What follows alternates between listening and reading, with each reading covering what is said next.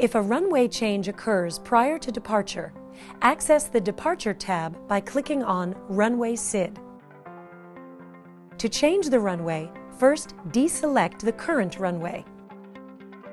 All the available runways at the airport will be displayed again. Select the new runway. Anytime the runway is changed, the departure procedure must be re-entered, even if the departure procedure did not change.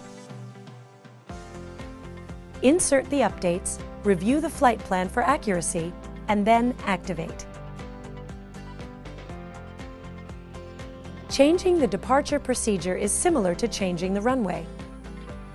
Access the Departure tab and deselect the current procedure. All available departures for the selected runway are now displayed. Select the new departure procedure and transition if applicable.